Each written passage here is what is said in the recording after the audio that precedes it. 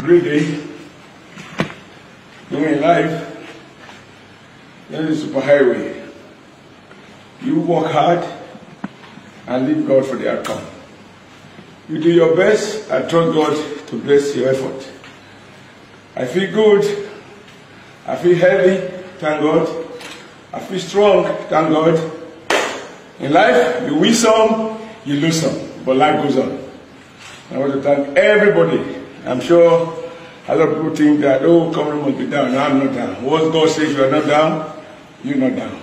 And I'm not down. I thank Edo people for all they did over the past two, three, four weeks, six weeks. People that the rain, under the sun.